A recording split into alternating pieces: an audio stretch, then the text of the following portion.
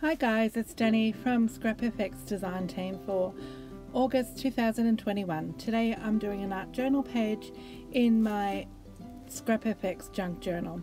So I've selected two pages in my junk journal. These are pre-gessoed and I have a collection of paints that I've picked out earlier. This is a nice lilac-y tone. I'm painting sort of more of a belly belt across the, the center of the page.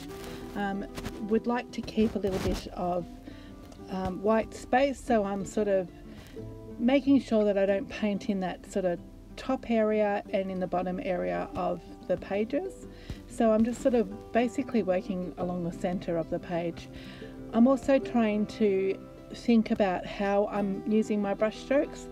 So I've basically um, just painting sort of splotches down without sort of overly thinking about how I'm painting them sort of trying to create sort of organic shapes with the paint and um, just sort of random splotches basically so and this yellow sort of more along the lines of mark making so creating a background that is a little bit different from my usual style um, just sort of being a little bit more um, thoughtful about the process but also just going intuitively into the background and painting what I sort of comes off the top of my head.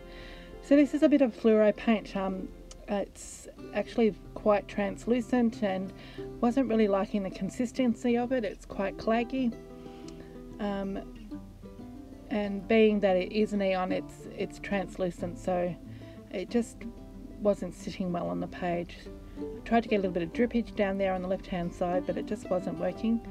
So I'm just drying that off now and I'm using a little bit of um, Diane Riversley's metallic paints in the in that hot pink, the bubblegum pink and that seemed to work much better. It's a bit more of a solid colour.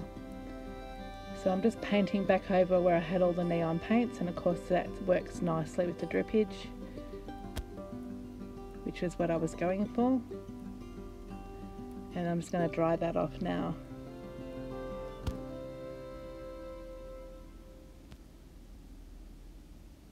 So going now in with the Posca pen and doing a little bit of mark making, just sort of round dots here and I'm just going back over them and enlarging them, a little bit of splatter.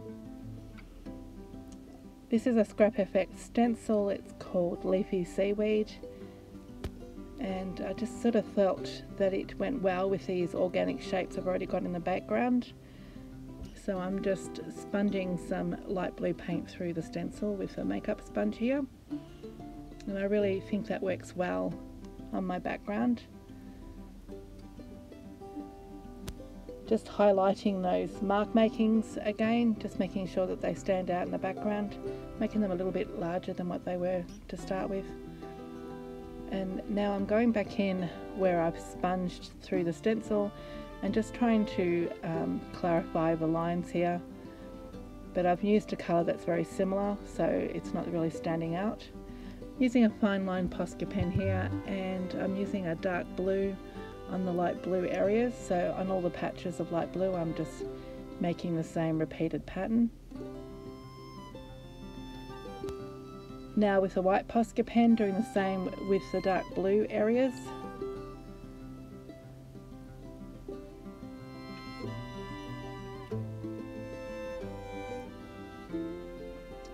And then once again I've used a similar colour in the purple tones which doesn't really work very well.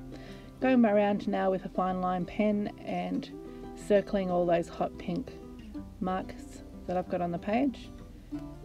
And then I find a darker purple Posca pen and I re-go over those areas again in the lilac-y tones and just make some mark making there. And I think that really works. The background um, it's a little bit different from what I'm used to, but I really like the white space. It really creates that extra pop of colour, makes everything look a little bit more vibrant. I'm now going in with a white Posca pen and redoodling over the stenciled area. And this really defines that organic shape across the page. Now here I'm using some Scrap FX rice papers. This is Sketches number two by Michelle Logan. I've just got a few random little pieces and I'm just going to use some matte medium to glue those down. And again, it's just working as a little bit more mark making and some visual interest in the background.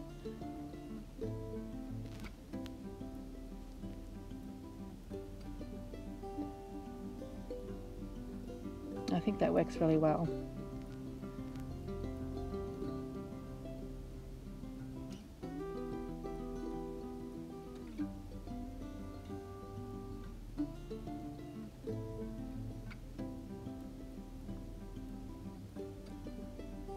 So now I'm going in with the Scrap FX stamp set. This one is called Circle Collage.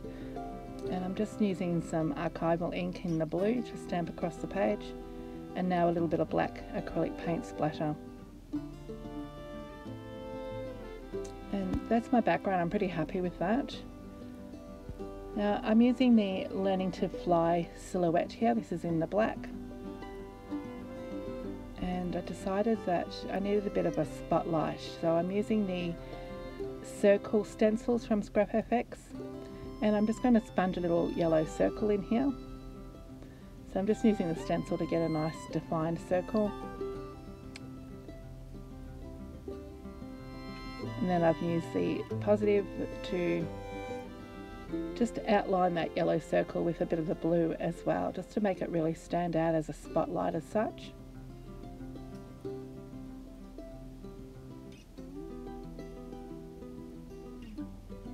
just sort of mutes down that background a little because it's quite busy and really highlights that silhouette. So I think that works really well. I'm just defining the edges of the circle with a little bit of dry brushing.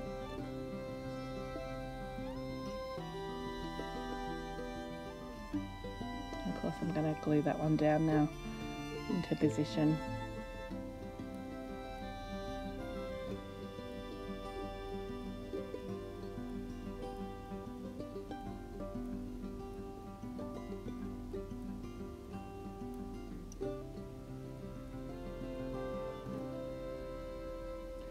So this is also a Scrap FX stencil. This one is called Freedom Girl. And I think she works really well with the stencil. It's sort of got the similar theme to it. So again, I'm just stenciling the silhouette shape in black on the opposite page. And I'm just using a makeup square to do that.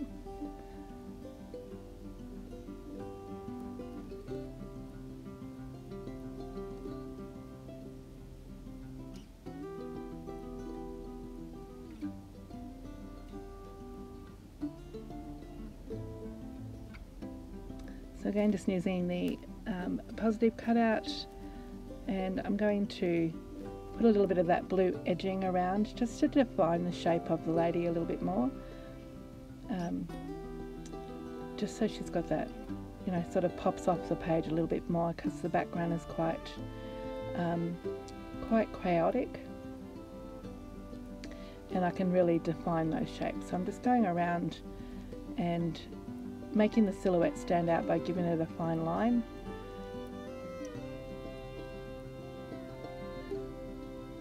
And then freehanding that fine, line around the body as well, giving it more of a, a scratchier line. I'm just trying to really make that shape stand out from the background, become more of a focal point on the page. So here I've decided to put in the hairlines and all those fine details um, with a white Posca pen. And again I'm going to trace the silhouette shape right around with the white Posca, just sort of giving it some scratchy highlights.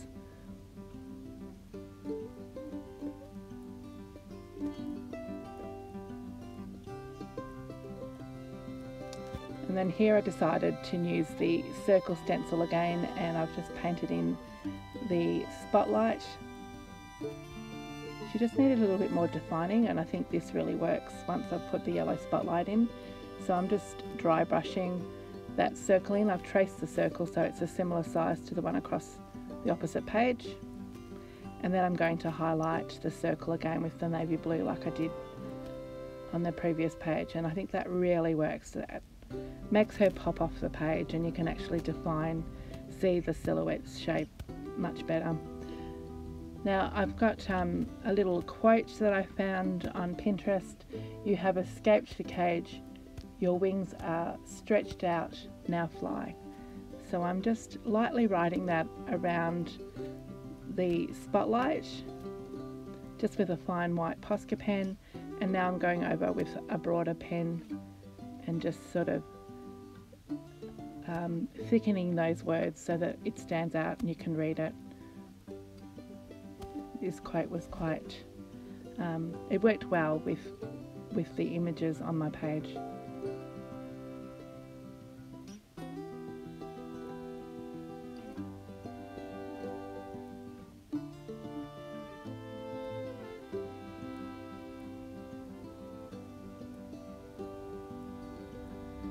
Just a little bit more highlighting on the silhouette. Just so that the two, two focal points sort of connect together.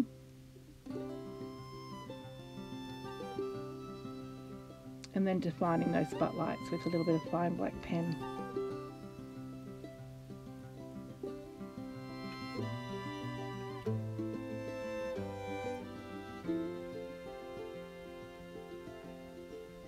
Just going back around with my wording just doing a little bit of scratchy black pen as well just defining the wording so that it really does pop off the background.